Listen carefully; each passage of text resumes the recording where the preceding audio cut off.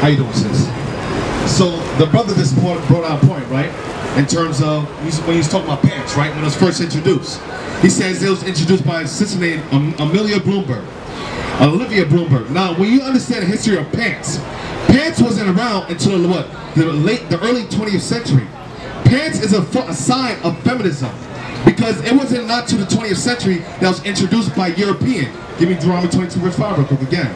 And then people started you it was called trousers at one point. Then like the brother brought up in the 20s and 30s, then you have World War II that came up about. So the women start wearing trousers to replace the men in work. While the men was at work, the women's at home doing men's work in the factories. So now, let's go up to date. Read that real quick. Now, the 1960s. Tell me about the 1960s. What was happening during that time period? Okay, about people, right? They, they call what happened? Anybody can tell me what was happening during the 1960s? Riots with who? What people was rioting? Black people, right? What they call it? Starts with a C. The civil, come on, you don't know the 60s? The civil rights movement? Come on, we know history, right? Okay, when the civil rights movement, we had Martin Luther King rise up. We went to march with Washington D.C. You had the Black Panther movements. You have all black activists rose up. Now, during the 1960s, another thing was introduced. There was a second wave of feminism. Guess what else was introduced during the 1960s? Pants. Pants was commercialized. It was placed on the market in the 1960s as well. Give me 2 Corinthians 11 verse 3. So 1960s, there was a second wave of feminism. The 1960s was also when pants was introduced. The 1960s to the 1980s was also when you have a CIA agent, a CIA agent infiltrated the Black Panthers movement with black fe- feminism. And that's how they captured the minds of our people. So when we tell women to stop wearing pants, it's a form of feminism. If we wear pants, you actually go against the black family. Because why? They say he that wear the pants, the person that wears the pants in the household does what in the household? Rules the household. Give me that. 2 Corinthians 11 verse 3. 2 Corinthians chapter 11 verse 3. But I fear, lest by any means as the serpent beguiled Eve. Uh, but I fear. So Paul is speaking to the Israelites. He said, but I fear by what? By any means But I fear by any means what? as the serpent beguiled Eve. As the serpent beguiled Eve. The serpent in the garden was not actual snake. That's Christianity. That's Greek philosophy. The serpent is what? Another word for what? A wicked, treacherous, trickerous man. So a person that's full of deceit. Now in the Garden of Eden, there was a man that actually deceived Eve. Read. Through his sub- subtlety. through his trickery. So that man in the garden came to Eve with trickery, cunningly, deceitfully. Read.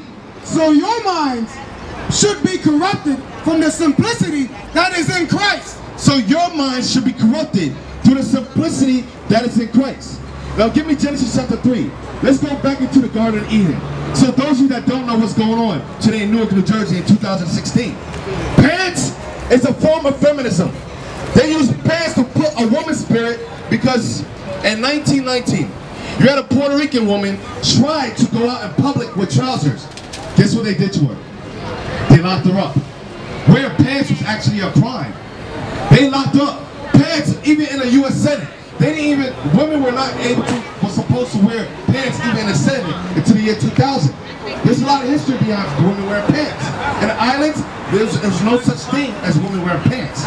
But there's another thing behind pants. Read. Genesis chapter 3 verse 1. Now the serpent was more subtle than any beast of the field. So beast is just being a reference to man. So the serpent, that wicked, treacherous man, was more cunning than any beast. Let's bring it up to today's standards. We look at the so-called white man. Is he not a cunning person? Is he not deceitful? Did he not deceive the earth with trickery? Showing that what? Christ is white? Showing that God is white? Showing that the Jews are white? Showing that the laws of God are done away with? Showing that what women can wear pants? Men can wear skirts? That's a serpent, a wicked, treacherous, trickerous person. Read. Now the serpent was more subtle than any beast of the field. So this man was more subtle, more cunning than any man in the field, just like the so-called white man. He is more cunning than any nation on this earth. Read. which the Lord God had made. Uh-huh. And he said unto the woman, Yea, hath God said, Ye shall not eat of every tree. So God said to the woman, Yea, shall you not eat of every tree? Meaning, shall you not, the trees actually make reference to actual trees. Now it's going to go more in depth. Read. of the garden? And the woman said unto the serpent, We may eat of the fruit of the trees of the garden. So we may eat of the fruit of the trees of the garden. Meaning the, the trees that God planted for us to eat. Read. But of the fruit of the tree which is in the midst of the garden, Uh-oh. Now this is talking about something specific. But the fruit of the tree that is in the midst of the garden, read. God has said, Ye shall not eat of it. So I'm going to show you. It's not talking about an apple. It's talking about philosophy that the serpent brought to Eve. You got to get out of Christianity. We're showing you that we're living the garden once again. We're bringing the Garden of Eden back into 2016 Right. in America. Right. Read. So that, that fruit was not an actual fruit, an apple that Christianity teaches. That fruit was going to philosophy, idolatry. Right. Right. Eve accepted the idolatry of the serpent in the garden. That wicked, treacherous man. Read. Neither shall ye touch it, lest ye die. Neither shall you learn the philosophy that that man was bringing to you, lest you should die. Because what? Because God says the wages of sin is death. So if Eve was going to learn that philosophy, what she was going to be put to death. Read. And the serpent said unto the woman, Ye shall not surely die. Wait a minute, the wait a minute, the serpent said unto the woman, that wicked treacherous man said unto Eve, the black woman, you shall not surely die. Just like today, what does the white man say in Christianity? All the laws of God are done away with. You should surely inherit the kingdom of God. You live by, we live by grace. And not by, wait, what did he say? We live not by sight, but grace. That. The grace of the Lord. This is the same serpent doing the same thing in the Garden of Eden that's doing the same thing in America. You say you guys should not surely die. You can go clubbing. You can be a homosexual. You can be a transvestite. You can be a lesbian. You can eat pork. You can eat shrimp. You can eat crab. You can, woman can have sex with women. Men can have sex with men. This is the same serpent doing the same thing, saying you shall not surely die. Read. For God doth know that in the day you eat thereof, God knows the day that you learned the, what the philosophy that the serpent was bringing to Eve. Read. then your eyes shall be open. You shall be open to good and evil. Is only supposed to keep the, know the commandments. Read. and ye shall be as God, Wait, and you shall be as what? and ye shall be as God. Wait, there's a problem. Who is the serpent talking to? Who's the serpent talking to? Eve. Eve, right? Eve. So, why is the serpent saying to Eve, you shall be as what? Ye shall be as God. Was Eve a god? Who was a god? Who was a god from the beginning? What? Huh? Who's the first creation? Adam, give Wisdom Solomon 2 verse 23 real quick. Show you that the man was a God on this earth. The man was made in the image of God. And who's the woman made in the image of? The man. Read that. Wisdom Solomon 2 verse 23. Wisdom of Solomon, chapter 2, verse 23. For God created man to be immortal, God created man to be immortal. Read. and made him to be an image of his own eternity. So the man was made to be an image of his own eternity. Hold that. Give me Psalms 82 verse 6. To show you who is the God that was supposed to be in the garden from the beginning of time. But the serpent said to the black woman, or the wicked treacherous man said to the black woman, you shall be as gods. Read. Psalms 82, verse 6. Uh-huh. I have said, Ye are gods. God says to the man, ye are what? Ye are gods. And all of you are children of the Most High. But ye shall die like men. See? We were gods. The black man at time was a god. Right. But we what? Die like men. We get shot down on the streets by pop cops. We gang bang against, against each other. Black on black crime, stick up kids, STDs, all these things. We're dying. Why? Because we're not keeping the commandments of God. So now get me back to Wisdom of Solomon 2 verse 21. 3. So 23. So who was a god from the beginning? The man, right? So read that. Wisdom of Solomon, chapter 2, verse 23. Uh-huh. For God created man to be immortal. God created man. The black man was created to be immortal. We weren't created to die. This body that we have is not our real body.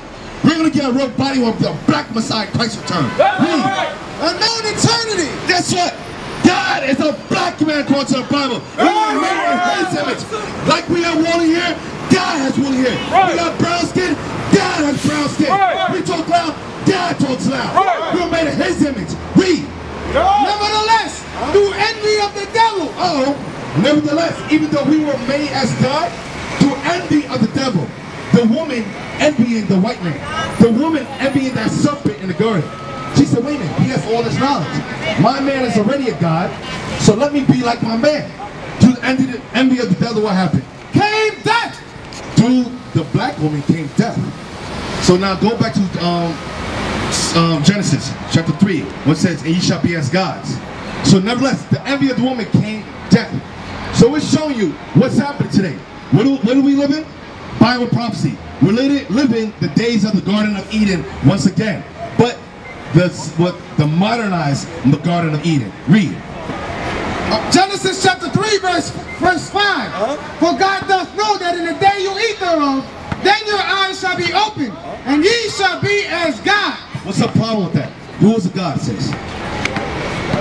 Was the woman a God? Who was a God? The man. Who's the God, brothers? Man. The man's the God, right? And the woman came from the man. So that's why. So what was that called? Eve being a God and Adam being a God. What is that called? 50-50. Black feminism. That's what the feminist movement was about. Uplifting a black woman on top uh, as equal as a black man, having receiving equal wages in the workforces, being equal in terms of pants. The man can wear pants, so the woman can wear pants. The man can lead, so the woman can lead. That's why you have a what a, a of black feminism, or you have Beyonce, girls, girls, we rule this world. The independent woman. Now give me back to Deuteronomy 22 verse 5 again. So that's why this little law that we we think is very minimal It's extremely heavy, sis. Right. Because there's a spirit and a philosophy that goes with pants. Read that. Deuteronomy chapter 22, verse 5. The woman God says the woman shall not wear what? shall not wear that which pertaineth unto a man. Why? God says the woman shall not wear that which pertaineth unto a man because what type of spirit does pants put on a woman, sis? A man's spirit. You can surely be as gods. You can be equal to a man. 50-50. There's no such thing as two heads on a body. There can only be one head. Two heads is a monster. Read. Neither shall a man put on a woman's garment. Neither shall a woman become a homo, a sissy boy. Put on a woman's garment with walking in, in damn um and High- damn high heels. High heels. Walk around my little princess. That's the spirit that's going on in America. Role reversal. They try to reverse the roles. Why? To the to cripple the black family. You gotta understand. With that movement, with pants and feminism coupled together, that destroyed the black family. And that's how that's how all the civil, rights, the civil rights, you have the Black Panther movement, and all black activists fell. Because why? The man is only as strong as his unit. And that unit is his family. So that's why when we bring out, sis, stop wearing pants. There's a there's a destructive spirit behind it. Read.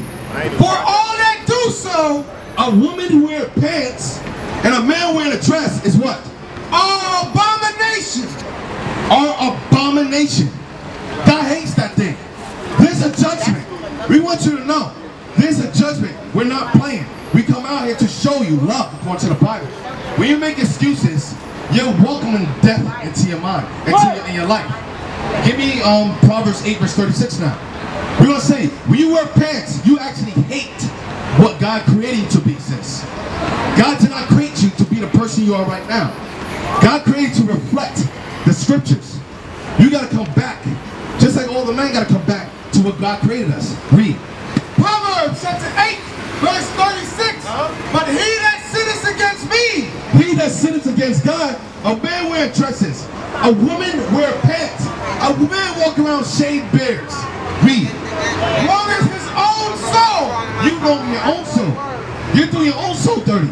Because God promised us immortality, eternity on this earth. You're doing yourself dirty. Read. All they that hate me All they that hate God.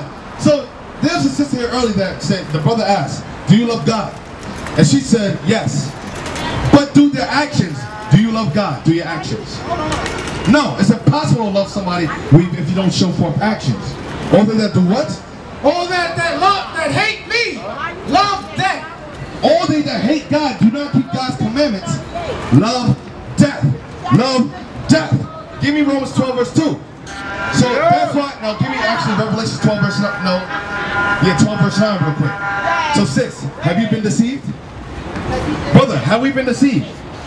Have we not all been deceived? We all been deceived. Look on that sign. You're supposed to be the people from that side. But you became the people on the opposite side. You forgot who you are. So what? If you forgot who you, if you forget your nationality, you're bound to forget your love, your heritage, your laws, your culture. It was a process. It was a destructive process. Read. Revelation chapter 12 verse 9. Uh-huh. And the great dragon was cast out, that old serpent called the devil and Satan. So that old dragon, that old that devil, called with that old serpent that was in the garden, it's the same serpent back today. You gotta know what's going on in this world. The same ah. serpent is doing the same thing to you now. He deceived you, sis. Read. Which deceiveth the whole world. Wait a minute. What did that serpent do?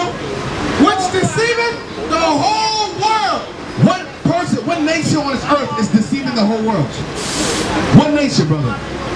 Who? Who? What? Okay, what nationality are these people? Caucasians. You see that? That old serpent with deceiving the, that devil, God's calling the devil. That's the Bible saying.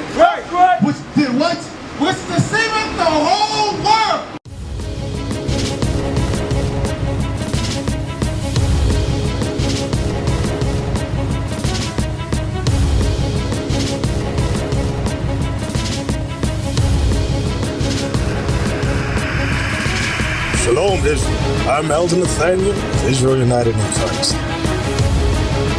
YouTube likes to shut our channels down, as some of you have noticed, ever so often. Subscribing to join IUIC will assure you will always stay connected to our YouTube accounts.